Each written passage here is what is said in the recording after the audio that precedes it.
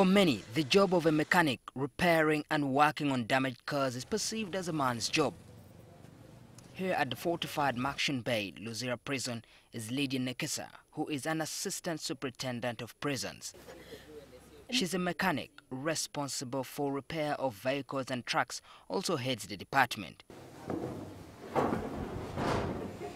According to Nekesa, she started this job 17 years ago after she joined Uganda prisons. Nekesa broadens her smile, expressing her love and passion for the job. I knew very well that the prior, what we are supposed to do exactly in prisons is to is safe custody of inmates. But alongside that, they carry out agriculture, they carry out farming, and Uganda is an agricultural country. She then enrolled at the Agriculture Training Institute, which was then the National Agriculture College as a student. And when I was interested in agriculture, prior to joining prisons, I did a mechanical course in agriculture engineering. So when I looked, when I was looking for where can I really exploit my talent, where that's what I felt most. I loved mechanization by nature. Just because I grew up with boys, I was the only girl, and I grew up with boys. Lydia narrates how amongst all the vehicles she loves working on and repairing tractors. That you use a diff for running. For it, a diff, yes. What is, what is comprised of it majorly are things which operate a plow. Run with all the ease.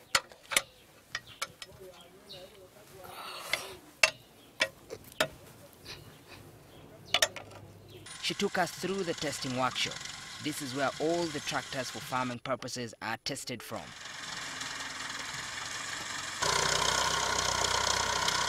For Nekesa this month, March, comes with a lot of work as it's the planting season.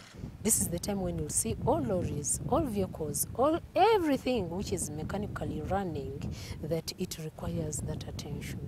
For some of the small vehicles and lorries, this is also a norm for her. Nekesa does not only repair but also supervises other people and has now started training others. Remove the oil and then we carry out service. When you check around, the- so it's that ladies have also got inspired in this and Yeah. they enjoying the mechanical bit of it. Let's talk about your family. Yes. Probably your husband and then your children.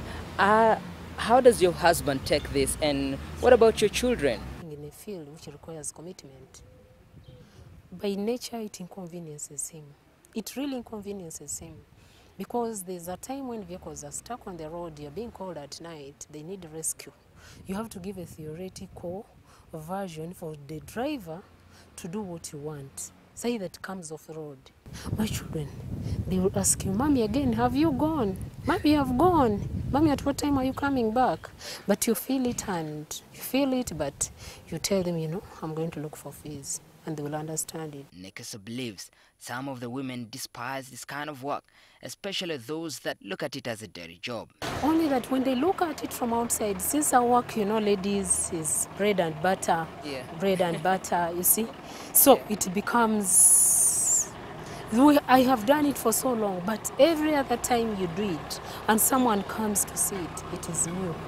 Yet it's not new and it shouldn't be new. Nekesa hopes to further her skill on the job by appreciating the value of technology in executing her job. Because as the new models keep coming in, it means one, practically you are furthering, isn't it?